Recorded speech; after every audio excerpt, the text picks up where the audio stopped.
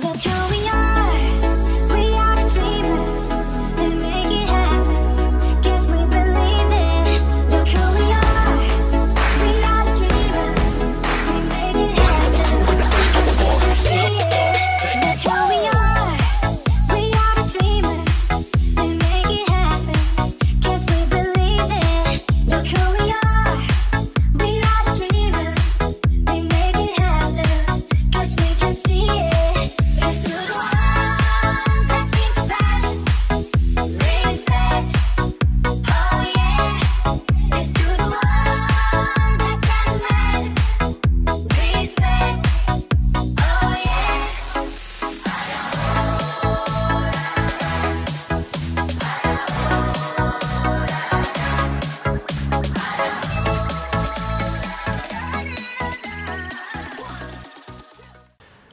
Da Rieti, centro d'Italia, Pietra Persia, nel cuore pulsante della Sicilia, nel segno dell'arte che vale, nel segno della musica, nel segno della danza, con la Royal Dance Academy e con questo magnifico corpo di ballo, ora per una splendida intervista a partire dalla direttrice Sharon, che salutiamo subito con affetto. Ciao Sharon! Buonasera, buonasera, grazie mille. Buonasera Sharon, un'avventura del cuore, un'avventura dell'arte. Ma come nasce questo corpo di ballo? Da quale idea viene fuori questa visione splendida che onora la Sicilia? Allora, la tanta voglia di crescere insieme.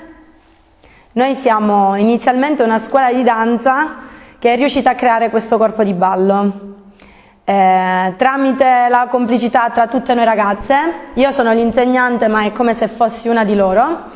Eh, niente, abbiamo inizialmente provato così per gioco, invece poi alla fine siamo riusciti a creare un vero e proprio corpo di ballo. Un gioco che è molto più di un gioco, una meravigliosa avventura, tante performance, tanti momenti entusiasmanti. Ma quale di questi momenti ti è rimasto più nel cuore e nella mente, Sharon? Aver fatto il corpo di ballo di Gatto Panceri durante una sua esibizione è stato un grandissimo onore per noi. Quale tipo di danza e di repertorio preferite eseguire? Le danze coreografiche, il modern, diciamo che sono le nostre coreografie e le nostre discipline preferite, quelle che portiamo più avanti. Com'è la vostra routine di allenamento e di preparazione per le esibizioni? Diciamo che ci prepariamo due ore al giorno, dal lunedì al giovedì, e iniziamo sempre con un riscaldamento abbastanza pesante per poi arrivare poi nella creazione delle coreografie. Sharon, quali sono le qualità che sono utili per un ballerino, una ballerina che immagini di entrare nella vostra meravigliosa formazione? Allora, innanzitutto passione per la danza e poi soprattutto che ci sia un ballerino, una ballerina che possa dare tutta se stesso, tutto se stesso nella danza. Ci vuole sacrificio, passione, coraggio, impegno e quindi è quest- sono queste le qualità che completano un ballerino. E perché un corpo si libri dalla dimensione fisica a quella eterea dell'arte, cooperazione e collaborazione sono necessarie. Fino a che punto queste due parole sono importanti nel vostro progetto?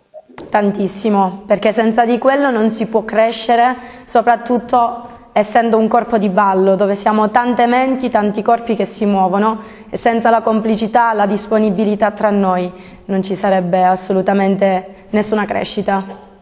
Un eh, discorso di questo tipo in teoria sembra facile in discesa, nella realtà è una successione di sfide, una dopo l'altra, una dopo più impegnativa, una più impegnativa dell'altra.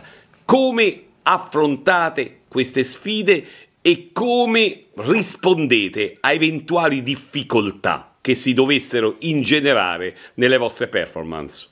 Cercando di non fermarsi mai nelle difficoltà che possono essere grandi o meno grandi, cerchiamo sempre di aiutarci a vicenda, se c'è un passo o un movimento che non riusciamo a capire, cerchiamo di aiutarci tutte. Quindi quella è la prima cosa che riesce a, a farci superare l'ostacolo. Una storia importante la vostra, che rapidamente vi ha portato alla ribalta.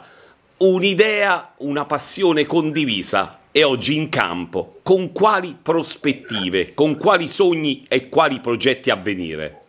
Allora, non abbiamo ancora un eh, progetto perché vogliamo ancora crescere tutte insieme. La nostra prospettiva è quella di riuscire a crescere insieme e farci conoscere, questa è la cosa più importante perché senza una conoscenza non, non possiamo andare avanti ed è lì proprio che noi ci stiamo impegnando tutte quante.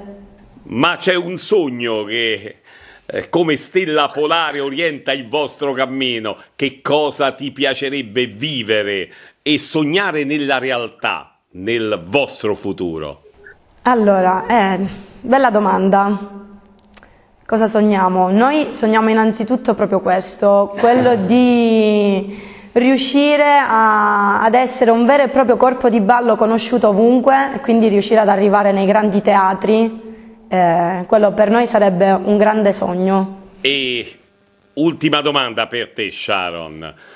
Quando sei nella performance e ti lasci andare a eteree sensazioni, eh, vivi e percepisci un mondo parallelo di arte e di sentimenti e di emozioni, ma che cosa vi piace trasmettere al vostro pubblico? tutto quello che proviamo durante quel momento.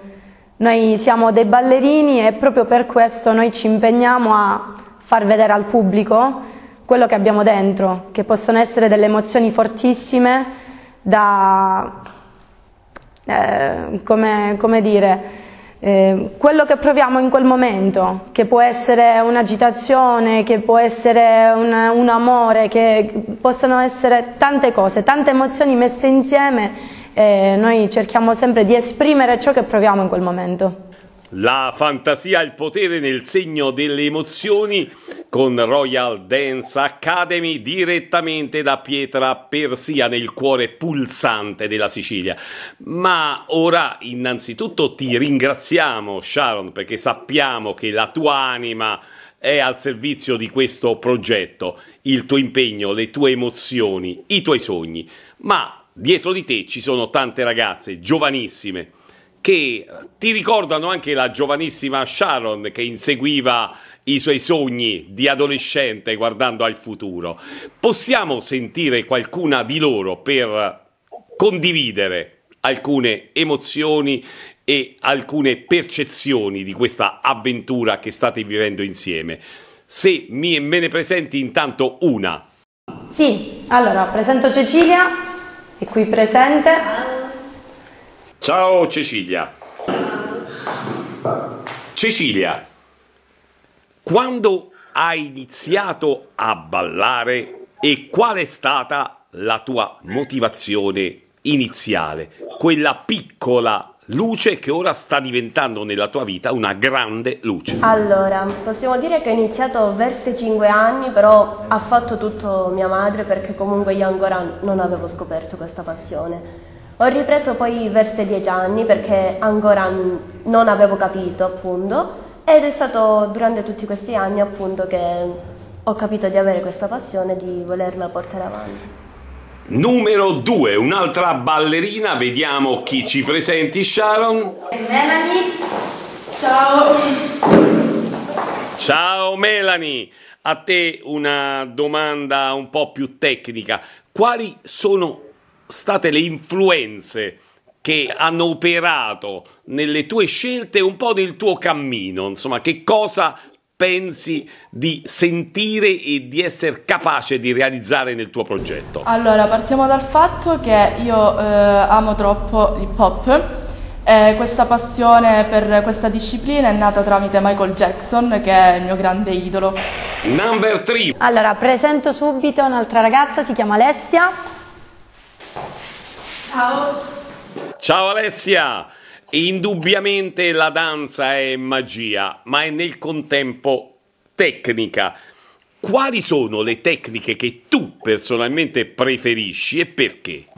Allora, eh, la- diciamo che mh, la parte che io preferisco di più della danza è la danza ehm, moderna perché mh, mi fa, diciamo, liberare, mi sento più libera. Quindi è tutte le sue tecniche che poi ci sono dietro. Bene, grazie. Altra ballerina, un altro nome da consegnare alla danza. Rosaria. Anche per te una domanda. Eh, danzare, eh, poi eh, non è che sia così semplice per tutti, bisogna anche riuscire a mantenere e ad esprimere nel proprio percorso le physique du rôle oltre alla grande passione. Come mantenere una forma fisica adeguata all'impegno e al progetto che stai portando avanti? Con una buona alimentazione e con allenamento costante.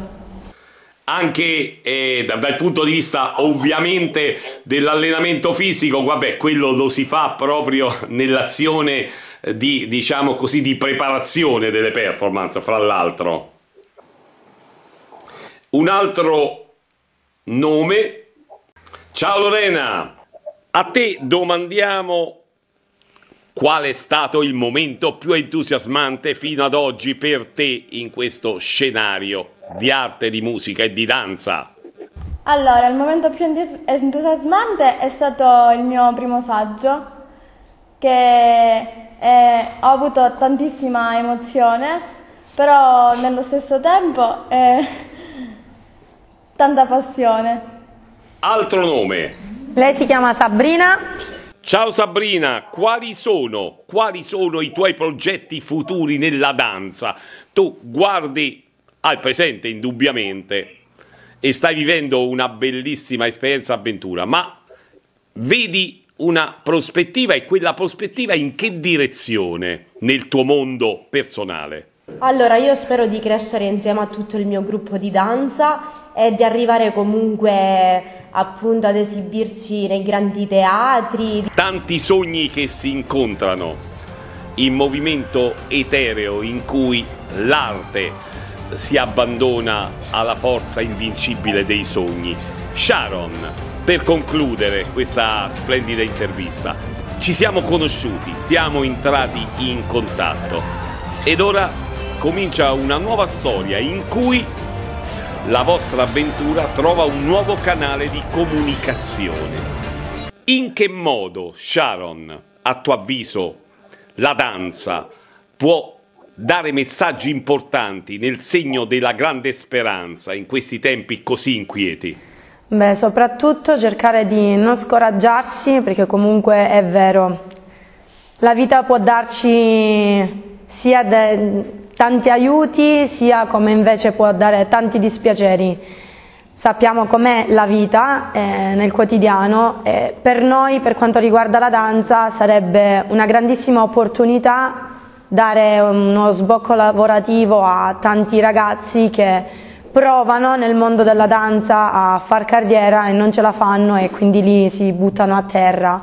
E invece sarebbe un mondo da prendere seriamente e allo stesso tempo far capire che tanti ragazzi possono farcela senza buttarsi a terra, con o senza tecnica, perché quello che conta per noi, soprattutto in ambito danza, è la passione e soprattutto il talento. Poi se si ha o non si ha una tecnica non fa nulla, alla fine ci siamo noi insegnanti, coreografi, professionisti che possiamo sempre comunque aiutare questi ragazzi a portarli avanti con soprattutto la speranza sia nostra che anche loro. E se riusciamo a non farla morire questa speranza è ancora meglio. E allora grazie, grazie Sharon, da Rieti Centro d'Italia, Pietra